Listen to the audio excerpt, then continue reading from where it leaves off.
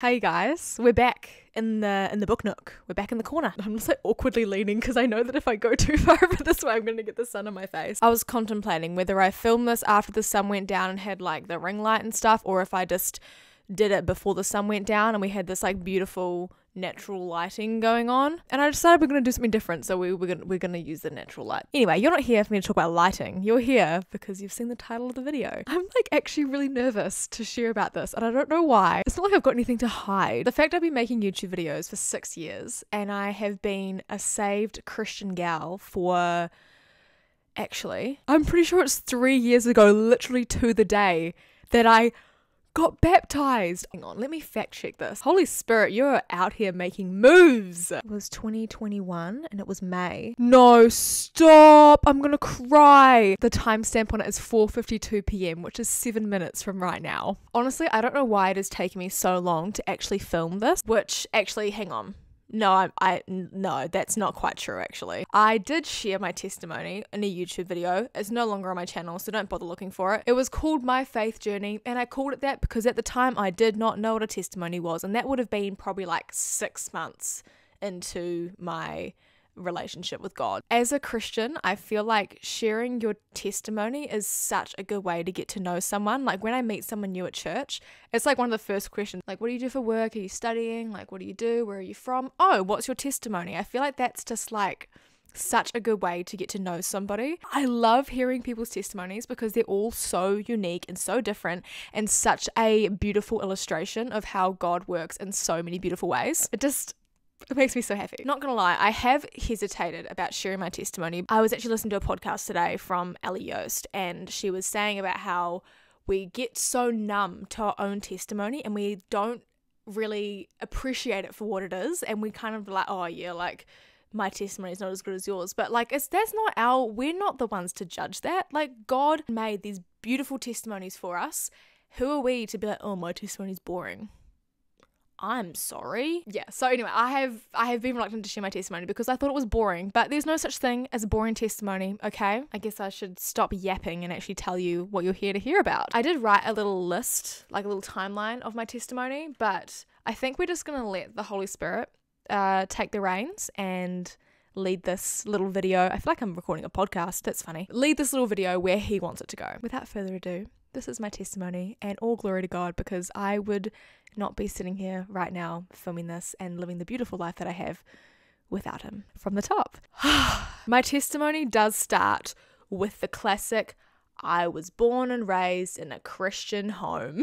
and I used to be so insecure about that. Then I had this revelation that growing up in a Christian home is a blessing. It's not something to roll your eyes at. It's something that shows God's faithfulness through the generations. And that is something so beautiful. And it's something He promises in the Bible as well. That is so special to me. So, yes, I was born into a Christian family and I was christened as a baby. I probably should have asked my mum how old I was when that happened. I'm assuming I was very small. I'm going to throw a number out here because I've seen photos of it, but I don't actually know how old I was. Maybe like six months maybe. I grew up going to church every Sunday because that's what you do on Sundays. You go to church. And I genuinely, genuinely loved it. And it was our family. I don't want to use the word routine because that makes it sound like it was done under obligation. It just was like a highlight of the week. We'd go to church and we'd go with another like really close family friends of ours. And then we'd go back to their house for lunch and have it like we called it Sunday lunch. And it became like this quite iconic thing in our families. And to this day, every now and again, we still like go over to their house for lunch and we're like, oh, look at Sunday lunch, which is so precious. Normally, not gonna lie, we were the family that was late to church, like every week. And the church was very busy. Like you'd walk in and the pews would be like packed. And they reserved the front row for the kids. And it was just like a big long pew. Like it wasn't actual like separated seats. And the there were so many kids that we would like all squeeze into the pews and like sit down and have like no space. But when we would turn up, the praise and worship would already have started. So my brother and I would like go to the front and we'd like dance around with the kids. And then after praise and worship was when the kids would go out to Sunday school. My nana was also she'd come down to Sunday school and she she was the most incredible piano player. And so she would come down and like play piano and we'd be like, Yes, Jesus loves me. Honestly, 11 out of 10 experience. Maybe when I was around eight, my church started this thing called Icons for Girls, which was, it's kind of like a, it's also called Girls Brigade, but it's like a Christian version of Girl Guides, is probably how I would explain it. And I started going to that when I was eight, because that's like when they started doing it. And it was so much fun. You'd go once a week during the school term on a Tuesday night, and you'd hang out for like an hour, hour and a half with other girls from church, and you'd do like crafts and learn how to like do life skills like, I don't know, sewing, baking like a lot of what I know, to be fair, about being a Proverbs 31 woman came from Icons for Girls. That was such a fun experience. And I actually ended up going, I went to Icons for Girls till I was like 15, I want to say, when I got a part time job, which then clashed and I couldn't be like I couldn't go because I was at work. But in amongst all of that, when I was I want to say like 10, our family stopped going to church. I still kept going to Icons for Girls. So at least I still had like that community of Christian girls the same age as me around me. And at the time, like I definitely didn't appreciate that for what it was. But now being more mature and looking back, I can be like, actually, that was such a blessing to have those sorts of friends around me. By the time I was 15, I've got this part time job. I'm not going to icons. I'm not going to church. I have no no connection with the church, with God, with anything at this point. I mean, I might have gone to church like once or twice with my grandparents, but like to get in order for me to get to church, it was like a 15 minute drive. It was like walking wasn't an option. I kind of told myself like, oh, when I get my restricted license and I can take myself, then I'll start going again. Uh, spoiler alert, that didn't happen. I'm a teenager at this point, so I am super impressionable. This is actually around the time I started watching and making YouTube videos too, which is funny. But I started at this time, I started watching a lot of YouTube and probably. Mm, actually, no, I don't really know where this came from. Oh, actually, mm, no, it must have come from YouTube because I don't know where else it would have come from. But anyway, I started to dabble a little bit this makes my skin crawl in like manifestation, law of attraction sort of stuff. And ah, yeah, not my finest, not my finest moment. I'm glad to be in the position that I'm in where I can look back and I can understand that that is not of God at all. Like 16, 17, dabbling in the law of attraction, thinking, oh my gosh, this is amazing. Um, spoiler alert, it's not amazing. So then when I'm 17, so this is my last year of high school, I end up getting like a pretty bad injury at netball. Um, I kind of I fell backwards on my hand and like damaged all the ligaments. Is that what they're called? I don't actually know. Don't quote me on that. Like across like the top of my hand, so where like your wrist connects to your hand. I, when I came off the court, like I couldn't move my hand. I thought it was broken. Ended up going to physio, had to like wear a splint and stuff, and it was so painful. When I remember just like, and it was my was it my right hand? I think it was. So I couldn't I couldn't write anything at school. I was going to work and I remember my job was like going in after school and doing like the cleaning and stuff. And I remember trying to like vacuum and like trying to push the vacuum. I was like crying because it was so painful. So anyway, the accident happened. I'm getting physio. I've got my hand in a splint and then a few days, I don't know if a few days or like a week later, the time period, it wasn't that long. Not gonna lie, it wasn't that long, but I still had no movement in my wrist. Like I, to do that was like extra. Ex- a what? To do this was like excruciating. And I was at work and I was, I think I was emptying the bin. So it must have been near closing time. The shop was super quiet and someone came up to the counter to buy something. And I was like, oh yeah, like I can serve you. And so I like put the thing through the till and the lady saw my hand in a splint. And she goes, Are you, like, are you injured? I was like, Yeah, so I can't really move my wrist. Like, yeah, slay. And she goes, Oh, can I pray for you? And I was like, yeah. And she goes, Do you mind if I lay hands on you? And at the time, I was like, What?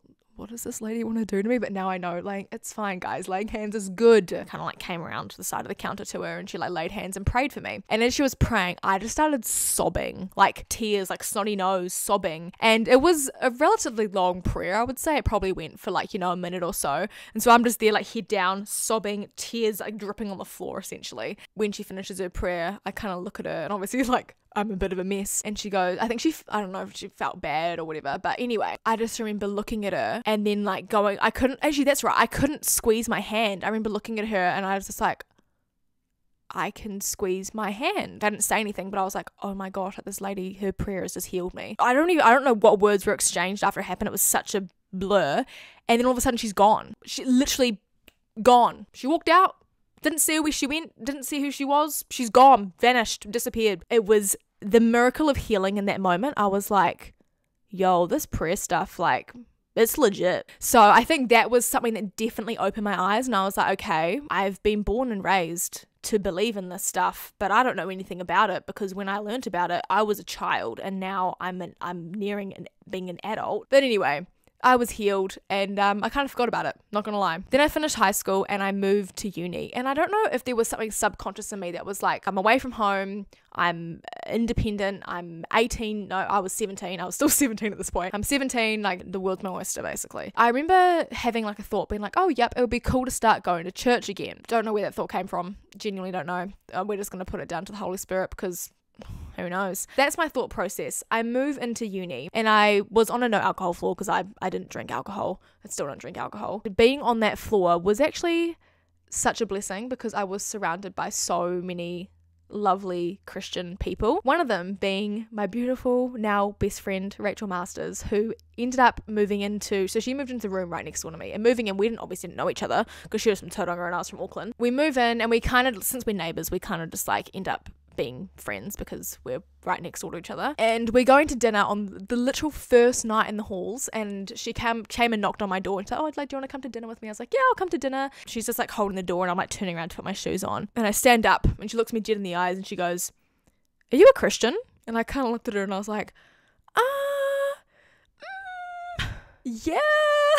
like I genuinely did not know how to answer the question because I'm like yes, but no, but like, yeah, but kind of keen, but also I don't know. But I just said yes. And she's like, oh, cool. And like, that was kind of like the end of it. We went to dinner, whatever, it was great. Like a week later, I think there were like nine of us on the, or nine people on the floor that were going to church because there was a church on campus at university, which was insane. So cool. Rachel's like, oh, yeah, like some of us are like gonna go over to church tonight. Did you want to come with us? Like, it's gonna be super chill. And I was like, yeah, like yeah, I'll come. And then I was like, what do I wear? Like, what do you wear to church? The last time I went to church, I was 10. When I went to church last time, I was buying my clothes from T&T. I'm 17. What do I wear to church? And she's like, honestly, it doesn't matter what you wear. Like, you just, just turn up. And I was like, okay, that seems really chill, but okay. So I turned up in, uh, if you're an OG, I turned up in my striped Make Someone Smile t-shirt and some black shorts. I don't know why I remember that so vividly, but I do. Pretty sure I was wearing Birkenstocks. So we all march in uh, in convoy over to the other side of campus to church and we walk in the door and immediately there's like the welcome team which I, I now know they're the welcome team. I just thought there were people just lingering now that I look, look back. But we walk in and we meet a lovely girl called Sam who I'm now still friends with. She's amazing. Walking a little bit further we meet Will who was was is the like youth young adults pastor. And I get talking to him and he's like oh like where are you from? Because obviously they knew we were new students. I was like oh I'm from this place in Auckland, which I don't want to say because privacy. And he's like, oh my gosh, no way. Like, I'm from there too. Like, I went to school there. And I was like, no way. Like, the world is like the small. And so that was a really cool connection, like, straight off the bat. And then also met another amazing girl called Kahu, who she's amazing. And all this, just like collectively, all these people, all of a sudden, I'm like, what the heck? None of these people know me, and they're all making me feel so loved, so welcome. Like they want me to be here. Like they genuinely care about me. And They genuinely want to know about me. Like this is amazing. Went into the service. Service was great. Praise and worship was elite. So good. And the message was amazing. Into the service, as they do at any service. I now know that this is, I thought this was just like when I first went, I was like, oh, this is, they're doing this just for me. No, Emma, they, they do it every week that everyone, everyone gets a chance. They did the salvation appeal. So you raise your hand, they pray for you. It's beautiful. And I was like standing there and they're like, all right, three, two, one, raise your hands. At this point, no one's looking. Like everyone's looking down, their eyes are shut. Like no one's going to see you. And I was like, mm, nah, nah, it's alright. Uh, nah, nah, all good. Nah, uh, mm, nah, I don't want anyone to see me. Nah, I'm not drawing attention to myself. And then my heart decided to like beat really fast. And I was like, oh, but what if I miss this opportunity? Up the arm goes. Prayer was parade, and that was the day that I gave my heart to Jesus. Honestly, haven't looked back. That was my first proper like I'm going to church church experience. Long story short, that church ended up becoming so I don't even know how to explain it. And the time in the season where I was moving to Hamilton, it was a new city. I didn't know anyone. All of my like pretty much all of my friends were made through church and to this day, I, I'm oh, I just love them so much. God is just so good. Hi, editing Emma here. I just realized I missed like a really foundational part of this whole testimony, so I'm just gonna insert it here because I feel like this is kind of like the right place for it. But what I failed to mention is honestly right throughout my childhood, but especially during like high school, like definitely like year 13, I think was probably when it peaked. I struggled a lot with my mental health, a lot of anxiety and depression, and it was not a good time time. It was not a good time. Moving away from home, I think that was it was terrifying because it was like new environment, but I think at the same time it was also encouraging that it was a new environment. Coming into 2020 coming into university had a bit of baggage that I was carrying with me in terms of my mental health. It was it was hard. Like it was really hard. It wasn't just like after one church service that I was like, you know, set free from the chains of my anxiety, but that is a huge part of part of my testimony is that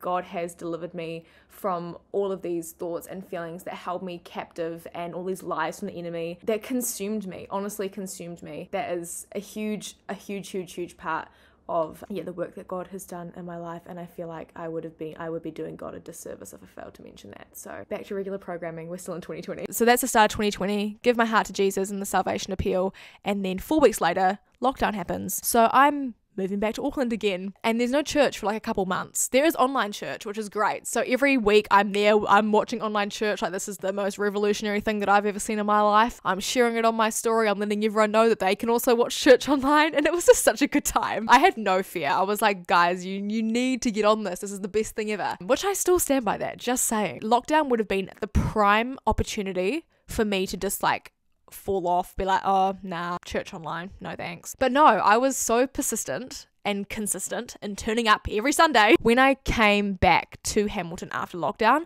hit the ground running, man. Hit the ground running. I was so excited to be back. So excited to see all my friends from church. So excited to be back in the house, to be praising and worshiping in person. That was such a good time. So that was basically like pretty much the gist of 2020. Probably the start of 2021. Uni's coming back. I came home for the summer. I'm going back to Hamilton for the uni year.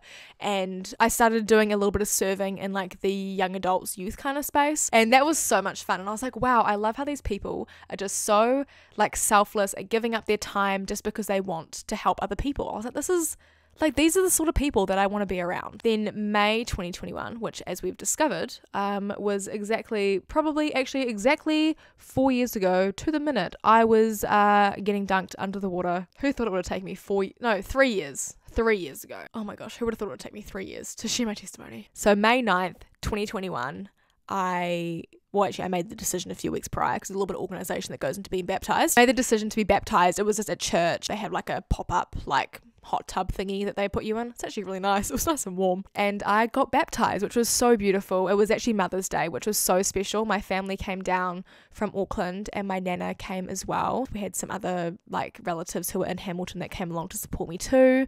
And all my friends were there and it was just so beautiful. End of 2022, I finished uni and moved back to Auckland. And leaving behind the church family that are of the church I was going to was so hard to the point that I, especially last year, considered mul- on multiple occasions moving back just to be back in that church community. But that ship has sailed. Moving back to Auckland and being like taken away from that church family was honestly it was it was so deep like it was heartbreaking because I was like these are my people. Like I've just spent three years surrounded by these people. They're amazing. I love them so much. And now I'm just I have to start again. Like I don't want to do that. My process of finding a church in Hamilton was so straightforward. I just went and it was great and I kept going. Whereas in Auckland, I had to go to so many different churches to find one that felt like home. Thankfully, I have now and it's great and I love it so much. But yeah, that was definitely a bit of a process. For the first like probably six months of being back in Auckland, apart from like my friends who were in Hamilton who I was keeping in touch with, I didn't have anyone like I didn't have like a life group or a connect group where I had a community around me of people that I could do life with, which was so hard. Like looking back now, that was so hard. But I think it, in a sense, like the, I don't know if I, oh, I guess you could call it isolation of that really made me lean into God. And I think that was actually a really foundational part of my faith as well was just having that time to be like, all right, God, it's just me and you. Now I'm in a church community. I'm in a new connect group. The girls are, oh my gosh, top tier. I guess that brings me to where I am today. So God has been faithful. He has been good. Genuinely can't put into words how grateful I am for this journey. Like it hasn't been perfect, but gosh, it's been good. And it's so crazy just to look at the past like four and a half years, or even like I mean my whole life, but look at it and be like, wow, like God has been so faithful. And seeing how far He's brought me through different, like obviously I can't go into detail on all of like the little trials that I've been through over the past four and a half years because we'd be here all day. Just seeing His faithfulness through all of that and being like, that's only like that's only four and a half years of my life. Like what more has he got up his sleeve? Like, this is exciting. Like, bring it. I'm just so.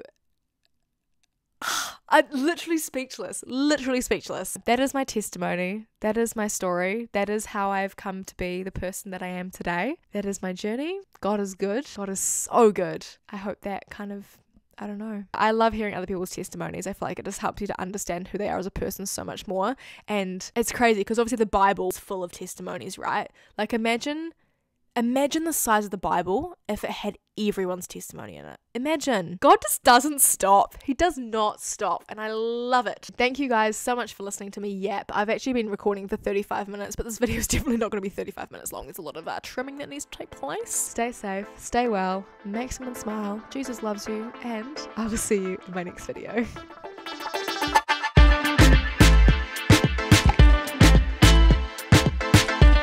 my test or to expl- how do Holy Spirit please give me the words to speak right now because I am struggling. I just haven't stopped smiling this whole video. I can't believe it's been three years since I was baptized. I hit shuffle play. All the songs I could have picked. Wanted to pick my testimony, my elevation worship, baby.